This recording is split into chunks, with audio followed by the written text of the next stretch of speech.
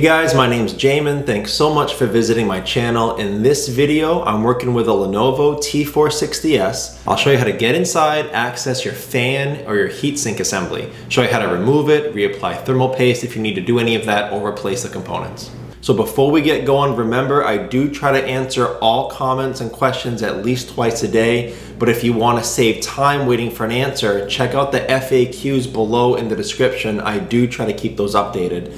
Also, I have a related link section below in the description, may be able to help you out with some other things involving your computer use. So to start the project, power down your computer the correct way, make sure it's off and unplugged from your charger. We're then gonna flip it over and access our bottom case screws. Okay, so I have these three screws up top, these two screws here, and that's your keyboard screw. That's a switch that releases your keyboard if that's all you're after. So I'm gonna go across and take all these screws out.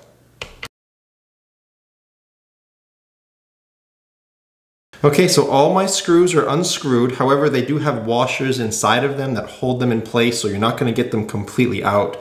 And I've set my keyboard screw to open and now the bottom case is, is released. So I'm gonna take my small flathead pry tool, go across the seam, and pop this bottom case off. Now this has been taken off once before, so you may have a harder time than that, but it does come off fairly easily. There's no, uh, there's nothing attached to the bottom case, it's, it's just the panel. After removing your bottom case, this is what you're looking at for the inside of your computer. Now as a general computer repair side note, whenever I'm working on a computer in my shop, I have it sitting on this anti-static mat. Either that or an anti-static bracelet are great ideas to avoid damaging anything in your computer when you're working on it. If you guys need any help with tools or supplies for your computer project, as well as any of these replacement or upgrade parts for this specific model computer, there'll be a link above, also below in the description, and I will have a list of all the tools and supplies, again, as well as the replacement and upgrade parts for this model in that one list. Now before doing anything in a computer, I always either remove or at least unplug the battery. It makes it safer to work on when as little power as possible is running through the computer. In this computer, we have two batteries. The main computer battery screws in there and there, plugs into the motherboard right here underneath this tape. So I'm gonna go ahead and take out those screws. And then it's held down underneath these two clips right there. So I'm gonna pop this up out of that port and then slide it out from under those two clips and there's your battery. This battery is very similar. It's held in by these two clips there, these two screws here, and it plugs into the motherboard there, similar to that one. So I'll go ahead and I'll take these screws out, and then I'll lift it up from this plug, and slide it out from those clips. So this is your fan here and your heatsink assembly that runs over your CPU over, over to this vent. Uh, the fan plugs into the motherboard right there and the heatsink screws down with these four screws here. So I'll go ahead and I'll take this fan out. When you unplug that, make sure you're not pulling on the wires. These fan wires are very, very fragile in most computers, so you could damage it. Put your fingernails or a pry tool on either side of that plug and just pull that out like that, and then your fan wire will come out. I'll go ahead and remove these four screws here over the CPU. That released that whole assembly, so that can come up now. And that's what you're looking at for your fan and your heatsink assembly.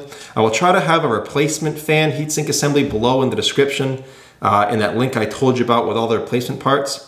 Another good thing to know, if you are taking this up, you do need to reapply thermal paste. Once air gets in here, that does need to be cleaned off and reapplied, so I'll show you how to do that now. So I'm gonna be using a 70% isopropyl alcohol mixture and a rag. I'm just gonna clean it off of the heat sink, clean it off of the CPU.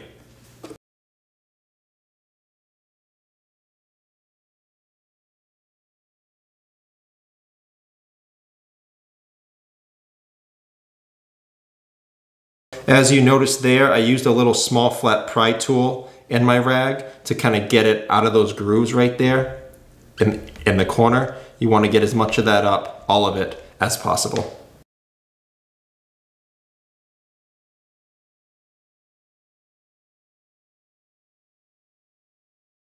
Now that I'm ready to reapply my thermal paste, I'm gonna put just a little bit down. You don't wanna put too much. I'll put a little bit over here.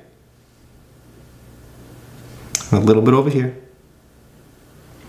So that's as much thermal paste as you need, guys. If you put too much thermal paste on, it could actually have a reverse effect. It could lock the heat in rather than facilitate its transport out of your computer. So don't put too much thermal paste on. Below in the description, in the link with all the tools and replacement parts, I'll have some thermal paste options.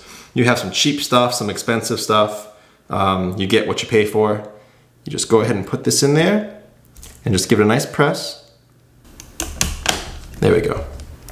And that's how you would reapply thermal paste to your heatsink.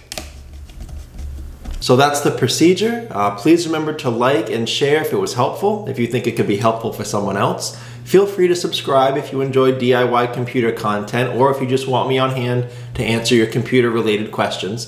Thank you so much for watching. I look forward to seeing you on my next video.